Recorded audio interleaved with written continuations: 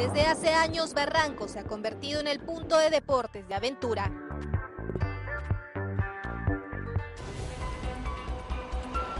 Pero ahora quienes quieran aprender deportes como el surf, parapente, entre otros, tendrían que hacerlo con permiso del municipio.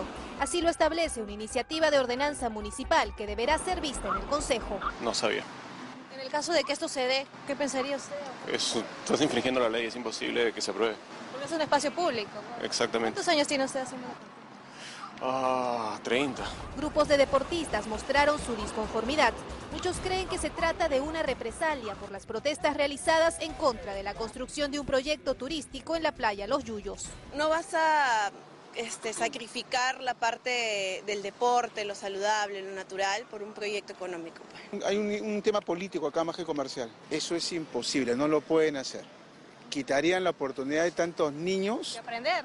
de aprender y de disfrutar y tener una vida sana. Es una represalia contra un movimiento vecinal que tenía por objetivo impedir que se privaticen las playas. Constitucionalmente es inválido, de ahí su nombre, espacio público. Para la autorización municipal se deberá contar con personal de salvataje y primeros auxilios. Todo grupo de enseñanza deberá inscribirse en el registro de academias de deportes de aventura.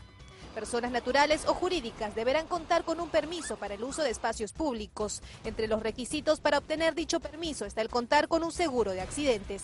Nosotros, en conjunto con la congresista Marisa Glave, estamos promoviendo la conformación de una comisión de investigación para que se encargue de ver todas aquellas irregularidades de los últimos 20 años.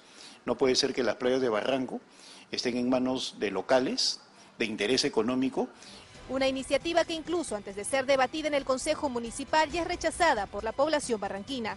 Hasta el cierre de este informe, el municipio no nos concedió ninguna entrevista para explicar mayores detalles de esta iniciativa municipal.